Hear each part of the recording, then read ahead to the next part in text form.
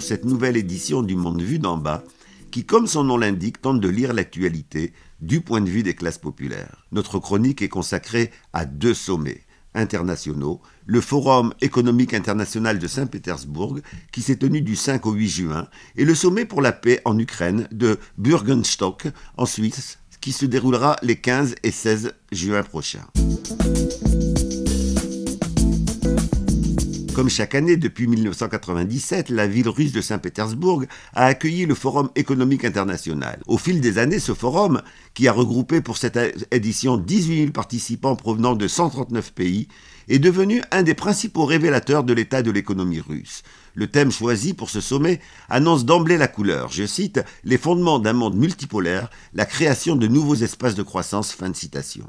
Les titres choisis pour les 400 événements, débats, tables rondes et rencontres thématiques sont également significatifs. Sans être exhaustifs, citons-en quelques-uns. Objectif des BRICS dans le contexte du nouvel ordre mondial, ou l'empire du mal, l'Occident a-t-il réussi à diaboliser la Russie, ou enfin la transition vers un modèle multipolaire de l'économie mondiale. La liste des plus de 17 000 participants au forum de cette année parmi lesquels se trouvent des chefs d'État et des ministres, des experts économiques et des chefs d'entreprise, est à elle seule parlante.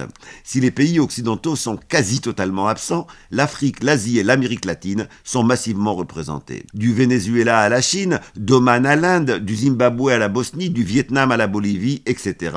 Le forum a réuni la majeure partie de l'humanité. À elle seule, ces présences des Suds permet de tirer un bilan d'échec de la stratégie occidentale d'isolement de la Russie, qui a accompagné la guerre en Ukraine. Non seulement la Russie n'est pas isolée, mais elle se présente au forum avec des résultats de croissance économique mettant en exergue l'échec des sanctions qui lui ont été imposées du fait de la guerre en Ukraine.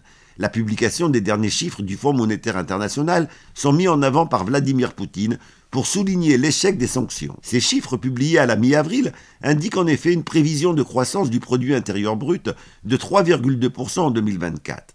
Le rapport du FMI souligne à ce propos, je cite, une croissance nettement supérieure à celle du Royaume-Uni, de la France et de l'Allemagne. Fin de citation. À titre comparatif, le taux de croissance prévu pour les États-Unis est de 2,7%, pour le Japon de 0,9% et pour la France de 0,7%. Lors de son intervention au forum, Vladimir Poutine a donné sa lecture de cet échec des sanctions. Il précise ainsi que les échanges russes avec l'Asie ont augmenté de 60%, ceux avec l'Afrique de 69% et ceux avec l'Amérique latine de 42%. Nous sommes bien en présence d'une réorientation globale de l'économie russe, d'un découplage massif avec l'Occident. Cette stratégie a été théorisée par l'économiste russe Sergei Karaganov, directeur du Conseil de politique étrangère et de défense. Dans un document publié en 2023, celui-ci appelle à orienter l'économie russe vers ce qu'il appelle la majorité mondiale. Je cite Les pays du Sud et de l'Est sont des alliés naturels de la Russie dans la démocratisation de l'ordre mondial, l'élimination des pratiques néocoloniales, des outils de pression et de chantage, des systèmes politiques et monétaires mondiaux. Fin de citation. Analysant les contradictions qui caractérisent notre monde, le document stratégique de Karaganov le présente comme suit, je cite, Le principal conflit du monde moderne est la contradiction entre, d'une part, la volonté de l'Occident, avec à sa tête les États-Unis, de préserver son hégémonie de cinq siècles, qui lui a permis de redistribuer les richesses du monde en sa faveur, et d'imposer sa culture et ses ordres politiques au monde, et d'autre part, le désir des pays non occidentaux d'accéder à une souveraineté pleine et entière, non contrainte par les dogmes, les institutions et les ordres de l'Occident. Seule une véritable souveraineté garantit la liberté de développement et permet une participation équitable à l'économie mondiale. On peut certes être en désaccord avec la stratégie russe, mais force est de reconnaître sa cohérence, car c'est celle-ci qui explique que autant de pays du Sud, ayant des systèmes sociaux et politiques aussi divers, renforcent leurs liens économiques et politiques avec la Russie.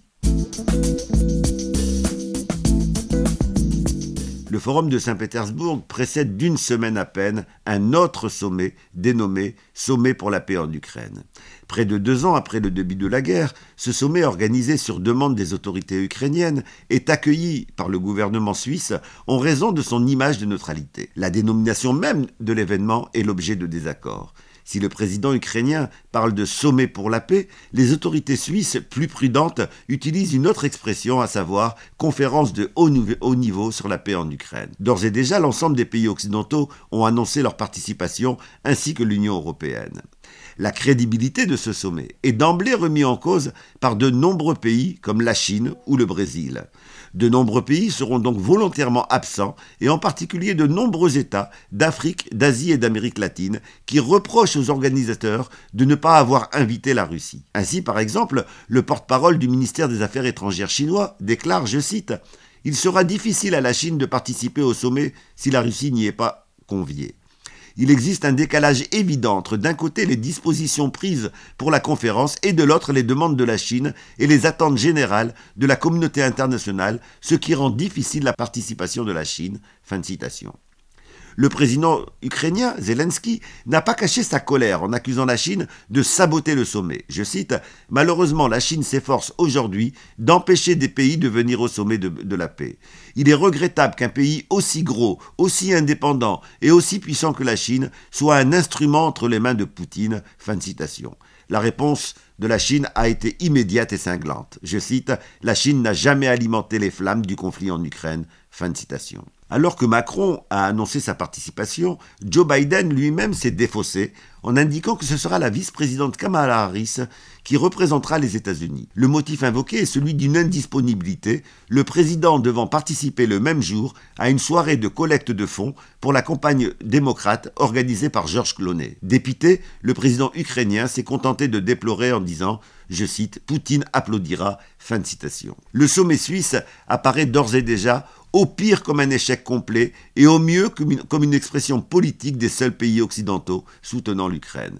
C'est pourquoi le Brésil et la Chine ont annoncé leur intention d'organiser un contre-sommet. Dans une déclaration publique commune datée du 23 mai, les deux États déclarent, je cite, La Chine et le Brésil soutiennent une conférence de paix internationale tenu à un moment approprié et reconnu par la Russie et l'Ukraine, avec une participation égale de toutes les parties, ainsi qu'une discussion équitable de tous les plans de paix. Fin citation.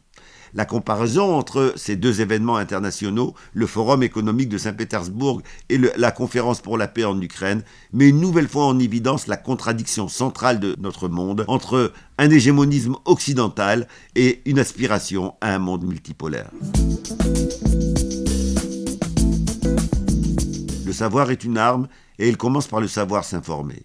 Nous espérons que notre émission a apporté sa contribution à cette information citoyenne nécessaire et urgente. N'hésitez pas à nous transmettre des sujets d'actualité que vous souhaitez voir traités dans notre émission. Ils seront traités dès qu'un fait d'actualité en lien avec eux permettra d'y revenir. Nous vous donnons rendez-vous dans quelques jours pour une nouvelle séance du Monde Vide en bas.